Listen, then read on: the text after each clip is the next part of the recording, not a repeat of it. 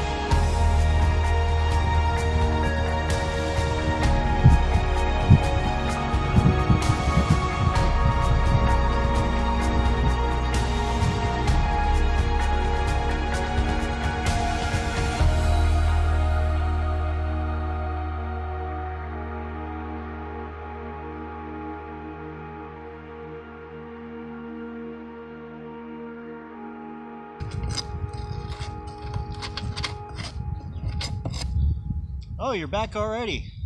Well, I hope you enjoyed it. Um, that was my first ever bees. Um, I named them Queen Lattice because the uh, the swarm was actually on these people's lattice fence. They had some vines, and uh, it's kind of difficult to get them off at first. I was trying to scoop them off with my hand, but they're just entangled with all these vines, and I didn't really want to cut the people's uh, floral arrangements all up, I guess. Um, so I just I shook them off this lattice on into uh, the swarm box that you seen in the video, and uh, just brought them home.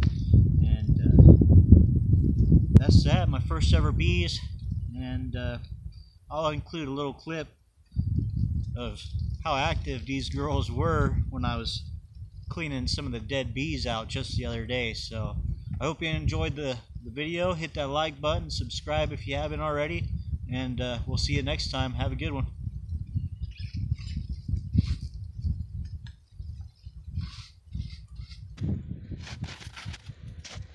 So yeah, this is uh, what happened when I started cleaning out the entrance.